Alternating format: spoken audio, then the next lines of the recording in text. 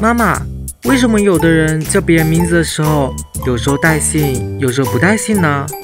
这个呀，因为如果两个人之间已经很熟悉后，叫别人名字都不带姓的话，会显得比较亲切。哦，比如小龙和叶小龙，你听一下啊，小龙，叶小龙，听起来是不是不一样啊？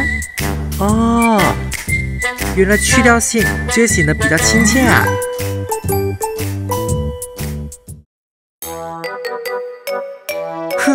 骗子！怎么了，小恐龙？妈妈就是个大骗子！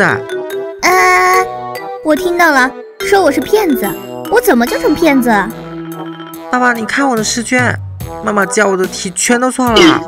嗯，全错了？你给我看看。哪里错了？哎，这呢？这错了一道。问《桃花源记》的作者是谁？渊明。渊明是谁？这还有一道，《兰亭集序》是谁写的？羲之。羲之是谁啊？陶渊明。王羲之。